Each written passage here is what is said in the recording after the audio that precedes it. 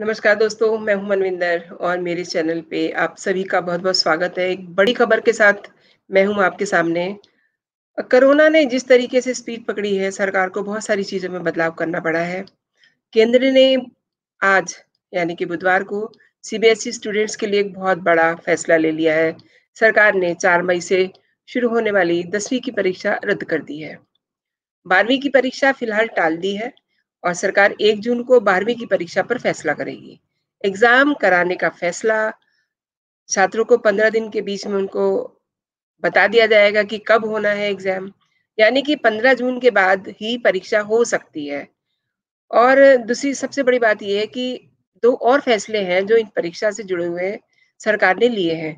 चार मई से 14 जून तक चलने वाली 12वीं की बोर्ड की परीक्षा अभी टाली गई है। ये परीक्षा परीक्षा के बाद होगी एक जून को हालात की समीक्षा की जाएगी, उसके बाद इस पे फैसला लिया जाएगा। और देखिए अगर परीक्षा होती है, तो कम से कम 15 दिन का समय जो है वो छात्रों को दिया जाएगा और दूसरा जो एक और फैसला लिया गया है वो 10वीं के छात्रों के लिए है। इनकी भी परीक्षा चार मई से 14 जून तक होनी थी, जो कि रद्द कर दी गई है, यानी कि इस साल उनकी परीक्षा नहीं होगी। सभी स्टूडेंट्स अगली क्लास में प्रमोट किए जाएँगे लेकिन रिज़ल्ट के साथ। इस रिज़ल्ट का क्या आधार होगा, सीबीएसई इसे तय करेगा।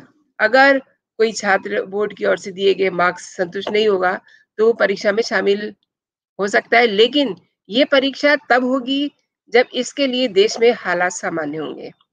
एक और बात, शिक्षा मंत्रालय से जुड़े एक ऑफिसर ने ये कहा है कि शॉर्ट नोटिस पे 12वीं के ऑनलाइन एग्ज़ाम फ़िलहाल संभव नहीं है। इतनी जल्दी छात्र अपने आप को ऑनलाइन पैटर्न के लिए कैसे तैयार करेंगे, ये भी अपने आप में एक बड़ा सवाल है। ऐसे में एग्ज़ाम्स ऑनलाइन कराना और इन्हें कैंसल करने जैसे विकल्प फ़िलहाल संभव नहीं है।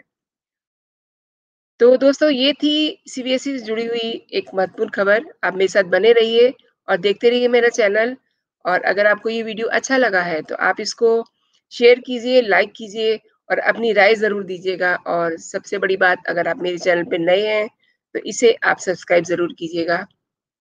जय हिंद, जय भारत।